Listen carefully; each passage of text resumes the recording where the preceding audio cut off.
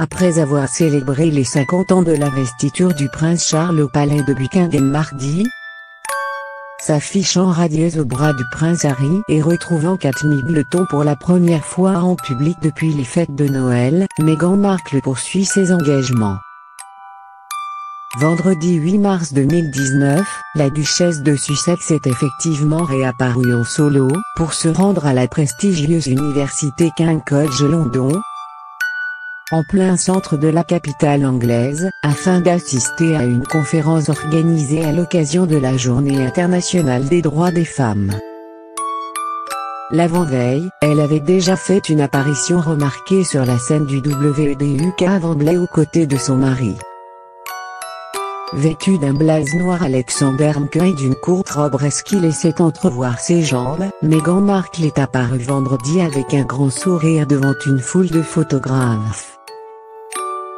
Escortée à l'intérieur du College London, la future maman de 37 ans a ensuite pris part à une table ronde composée d'artistes et d'activistes engagés en faveur des droits des femmes.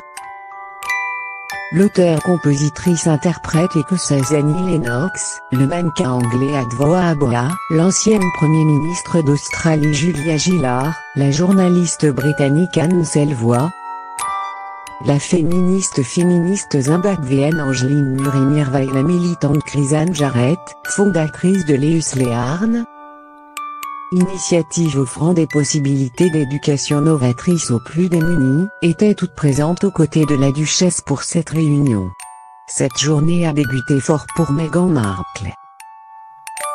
Le matin, le palais de Kensington avait ainsi annoncé que l'épouse du prince Harry venait d'être nommée en tant que nouvelle vice-présidente du K.O.S. Commonwealth Trust, Organisation de la famille royale établie par la reine Elisabeth II, cette dernière en assure le patronage, qui a pour but de soutenir et de financer les jeunes leaders du monde entier. Toujours aussi féministe que lorsqu'elle était encore actrice, Meghan Markle à une table ronde à l'occasion de la Journée internationale des droits des femmes ce vendredi, à Londres. Enceinte de 8 mois, Meghan Markle ne semble pas encore prête à prendre son congé maternité. Enceinte de 8 mois, la duchesse de Sussex a pris la parole aux côtés d'Annie Lennox. Après son apparition surprise aux côtés du prince Harry mercredi, provoquant l'hystérie au stade de Wembley, la duchesse de Sussex a tenu un nouvel engagement royal ce 8 mars 2019, au King College de Londres, à l'occasion de la Journée internationale des droits des femmes. L'américaine de 37 ans a à une table ronde composée d'artistes et activistes engagés en faveur des droits des femmes. Radieuse dans sa mini-robe graphique complétée d'un blasé Alexander McQueen, d'une paire d'escarpins Manolo Blahnik et d'une pochette Stella McCartney, la future maman a ainsi rejoint la chanteuse Annie Lennox, le mannequin Adwoa Abola, l'ancien premier ministre australien Julia Gillard, Chrisanne Jarrett, la fondatrice de l'organisation Leus Learn, L'économiste Sevois et Angine Rimirva, représentante de la campagne pour l'éducation des femmes en Afrique. Comme le rapporte un reporter royal, l'épouse du prince Harry a notamment déclaré « Je suis d'accord avec Annie Lennox, nous devons être des féministes globales et inclure les hommes et les garçons. Meghan Markle est une féministe de la première heure.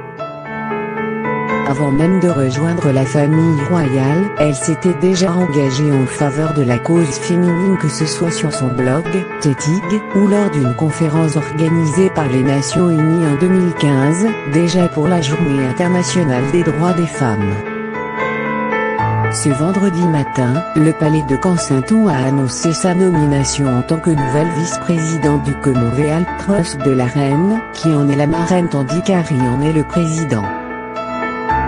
La duchesse de Sussex va donc s'investir pleinement dans cette organisation royale visant à soutenir, financer et lier les jeunes leaders partout dans le monde.